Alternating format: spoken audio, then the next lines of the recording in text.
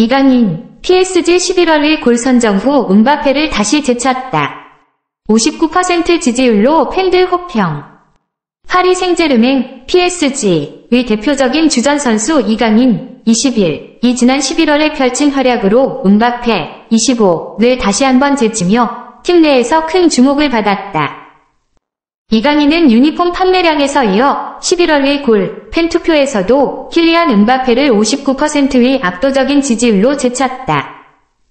이번 11월 1골 수상자는 몽펠리에를 상대로 펼친 이강인의 데뷔골로 선정되었다. 지난 11월 4일 몽펠리에전에서 킬리안 은바페의 정확한 패스를 받아온 이강인은 곧바로 왼발 슛으로 슈팅을 강타. 좌측 상단의 골망을 흔들며 리그 1데뷔골을 기록했다. 이강인의 골은 팀 내에서 큰 주목을 받았을 뿐만 아니라 PSG 팬들도 그의 활약을 높게 평가했다. 3,358명이 참여한 투표에서 이강인은 무려 59%의 지지를 얻어 1위에 올랐다. 2. 에비의 은바페는 18.3%의 지지를 얻어 2위를 기록하며 이강인을 따라잡지 못했다. 세 번째는 오스만 덴벨레가 모나코전에서 기록한 골로 16.9%를 기록하며 향후의 기대를 모았다.